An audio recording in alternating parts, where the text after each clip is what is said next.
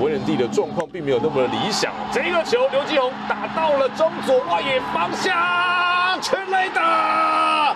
台湾大赛的第一个打席，红色大炮开轰了。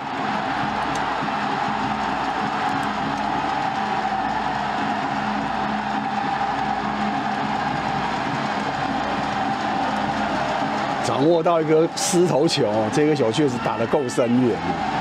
虽然一开始球速落后，但这个势头球确实掌握的蛮不错。二十一世纪以来啊，魏雄队第一次在台湾大赛登场，刚刚也可以感觉到我今天满场球迷的这个欢呼声哦。这对年轻的魏群来说的话，是再好不过的开局方式啊。刘勇确实在今年有些一些关键的攻击能力，真的展现蛮不错。绝大部分的龙迷应援声跟乐天这个球来看一下，在左外野方向是界内还是界外？界内吗？没有问题。再见全垒打！这场比赛龙队的得分是从刘建荣的全打开始，最后也结束在了刘建荣的全垒打。哇，敢第一次打。台湾大赛哦，刘继勇真的展现了很好的抗压性哦。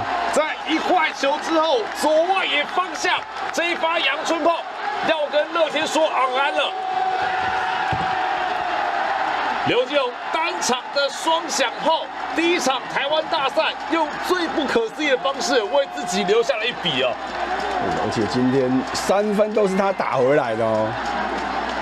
第一发全打出现在了一局下半。我那个时候比赛可能是五点多，延长赛的第十四局下半，刘继宏一棒让比赛最终是定在了三比二，为雄队拿下今年台湾大赛系列赛的第一场比赛。拜托拜托，记得要订阅公式体育的 YTO，，还要。